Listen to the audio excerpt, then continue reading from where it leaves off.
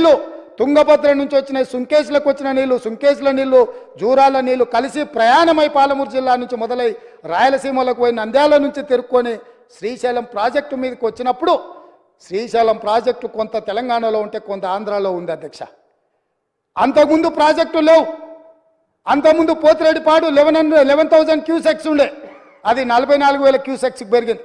అంతకుముందు లేని Rayalaseema lift irrigation ఇవ్వాలా ఎనిమిది టీఎంసీలు తరలించడానికి లిఫ్ట్ ఇరిగేషన్లు కట్టినరు ముచ్చుమరి నుంచి అర టీఎంసీ కట్టిరు అధ్యక్ష.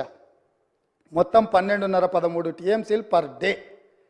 ఒక్క నెల రోజులు మనం కళ్ళు మూసుకుంటే శ్రీశైలంలో బురద కూడా ఉండదు అధ్యక్ష. రాయలసీమ లిఫ్టు ఏడు వందల తొంభై ఏడు ఎఫ్ఆర్ఎల్ దగ్గర కట్టిరు అధ్యక్ష. కుండ ఇట్లుంటే కుండకు సైడ్కు పొక్క పెట్టలే అధ్యక్ష. కింద పెట్టిండు. కింద. వీళ్ళు పిలిచి పంచపక్ష ప్రమాణాలు వీళ్ళు పెట్టిండ్రు. జగన్మోహన్ రెడ్డి వీళ్ళ కింద బొక్క పెట్టిండు అధ్యక్ష. బొక్క పెట్టి మొత్తం మొత్తం తరలించకపోతుంటే మిన్నకుండా ఉన్న మీళ్ళు ఇవాళ నేను సూటిగా అడుగుతున్న హరీష్ రావుని మిత్రుణ్ణి. రాజకీయాలు పక్కన పెట్టండి మీరు. రాజకీయాలు పక్కన పెట్టండి. మీరు బాధ్యత కలిగిన మంత్రిగా చెప్పు. ఇవాళ రాయలసీమ జిల్లాలో ఉన్న మీ- మీ అవకాశం వచ్చినప్పుడు స్పీకర్ గారు అనుమతి తీసుకొని మీ అవకాశం వచ్చినప్పుడు తప్పకుండా చెప్పదు. ఐఎమ్ నాట్ ఈల్డింగ్ నీకు ఇస్తాడు మైకు స్పీకర్ గారు నేను కాదు ఇవ్వాల్సింది. స్పీకర్ సార్ ఇవాళ మన భూభాగంలో మన భూభాగంలో ఉన్న నాగార్జున సాగర్ మీదకి మన భూభాగంలో ఉన్న నాగార్జున సాగర్ మీదకి తుపాకులతో జగన్మోహన్ రెడ్డి వచ్చి ఆక్రమించుకుంటే చేతగాక చేతగాని సన్నాసులాక ఇక్కడ ప్రభుత్వం చూస్తుంటే ఇవాళ రాయలసీమలో ఉన్న ప్రాజెక్టుల నుంచి నీళ్ళు తరలించకపోతుంటే ఎవరు అడ్డుకోవాలి అధ్యక్ష? ఎవరు అడ్డుకోవాలి?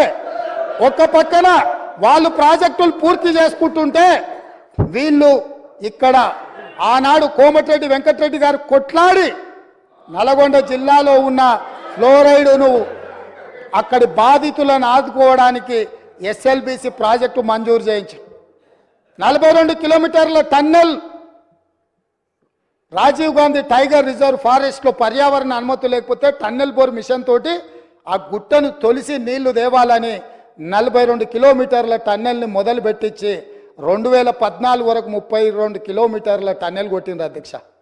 తెలంగాణ వచ్చినాక వీళ్ళకి అప్పచెప్తే పది కిలోమీటర్లు పూర్తి చేస్తే సంవత్సరంలో పూర్తి చేయాల్సిందని పదేళ్ళలో కలిసి కిలోమీటర్న్నర పూర్తి చేసారు అధ్యక్ష. ఇంతకంటే ఇంతకంటే చేతగానితనము తెలంగాణ ద్రోహి ఎవడని ఉంటాడా అధ్యక్ష?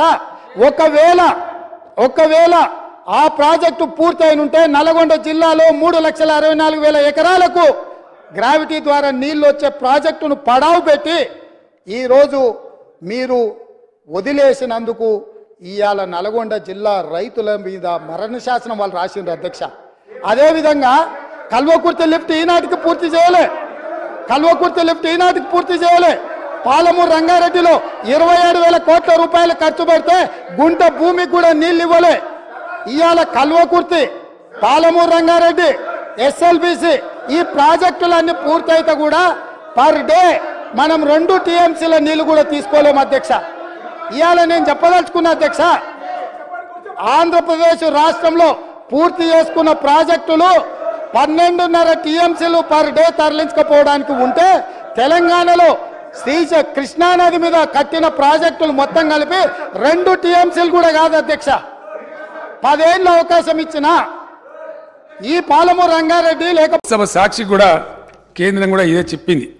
ఇవన్నీ చేసి ఈరోజు ఇంత సుస్థిరమైన ఆర్థిక ప్రగతి సాధించి పర్ క్యాపిటా పెంచి పవర్ పెంచి శుద్ధమైన నీళ్ళు ప్రతి ఇంటికి నల్లాతోనిచ్చి ఇవన్నీ చేసి తెలంగాణ సాధించుకొచ్చి అష్ట కష్టాలు పడి గత ఇరవై ఐదు సంవత్సరాలుగా ఒక యజ్ఞంలాగా దీన్ని తీసుకొని పోతా ఉంటే కాంగ్రెస్ పార్టీ నాయకులు మాట్లాడతారు అధ్యక్ష.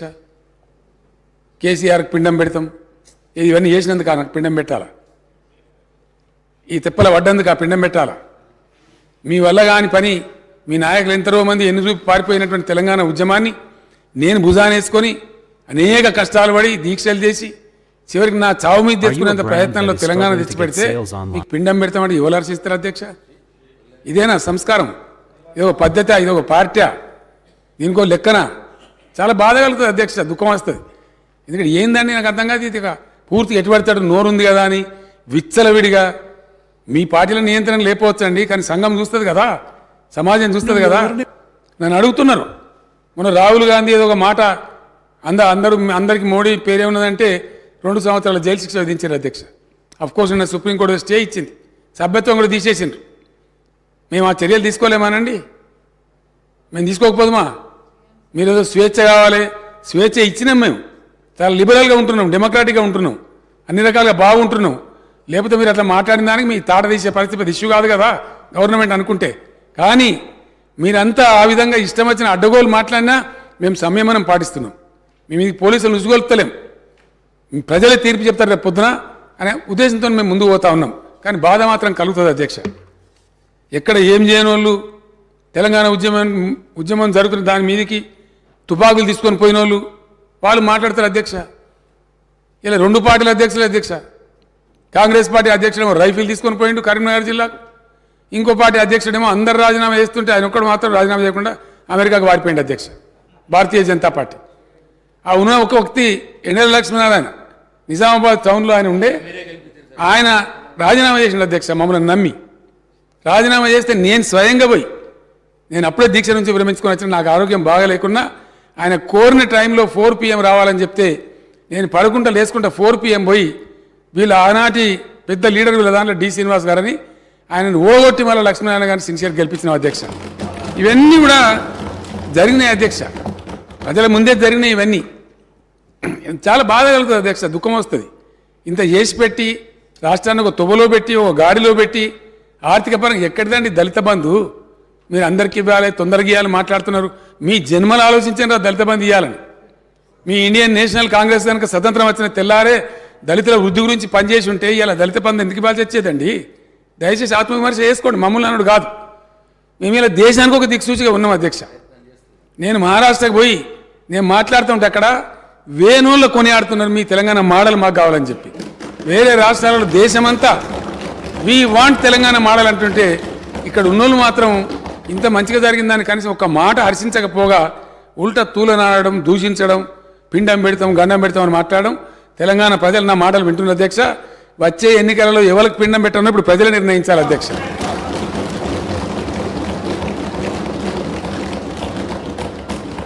తలసరి విద్యుత్ వినియోగంలో దేశంలో నంబర్ వన్ అధ్యక్ష తెలంగాణ. జాతీయ సగటు అయితే అసలు మన సమీపంలో కూడా లేదు. నేషనల్ యావరేజ్ చూస్తే. అతి తక్కువ సమయంలో విద్యుత్ ఎక్కడిది అధ్యక్ష? కాంగ్రెస్ హయాంలో విద్యుత్. మొన్న కూడా వీళ్ళ కడుపుల సంగతి బయట పెట్టింది చెప్తే ఇచ్చి ఇస్తామని చెప్పింది తొమ్మిది గంటలు.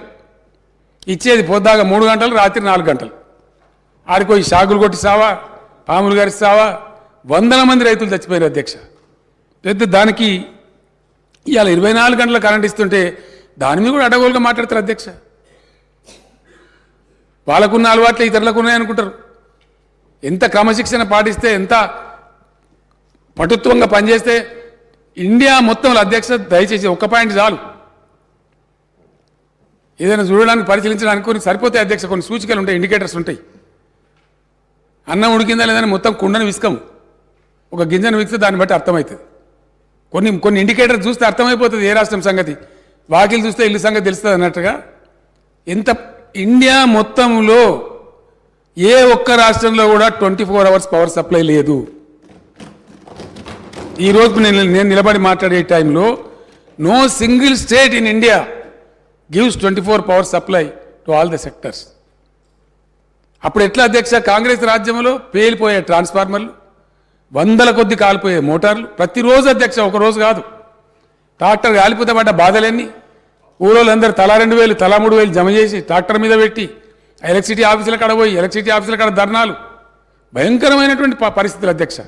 వీళ్ళు మాకు ఇలా పాఠాలు చెప్తామంటారు. వీళ్ళు మాకు నీతులు చెప్తామంటారు. ఇలా చాలా కష్టపడి ఈ స్థితికి తీసుకొచ్చినాం అధ్యక్ష. దీన్ని కాపాడుతున్నాం మేము. దీని మీద అపోహలు కలిగే విధంగా ఇష్టం వచ్చినట్టు అధ్యక్ష.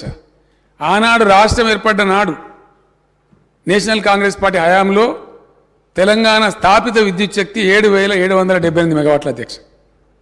ఈరోజు తెలంగాణ ఇన్స్టాల్డ్ కెపాసిటీ పద్దెనిమిది వేల ఏడు వందల యాభై ఆరు మెగావాట్ల అధ్యక్ష. అతి త్వరలో నాలుగైదు నెలలలో దేశంలోనే నంబర్ వన్గా పబ్లిక్ సెక్టర్లో స్థాపించిన number one ultra mega power plant ఇండియాలో నంబర్ వన్ అధ్యక్ష. ఏ రాష్ట్రం సాహసం చేయలే. ఈవెన్ ఎన్టీపీసీ కూడా తర్వాత వచ్చింది. కానీ ఒక రాష్ట్ర ప్రభుత్వంగా పబ్లిక్ సెక్టర్లో తెలంగాణ జెన్కో ఆధ్వర్యంలో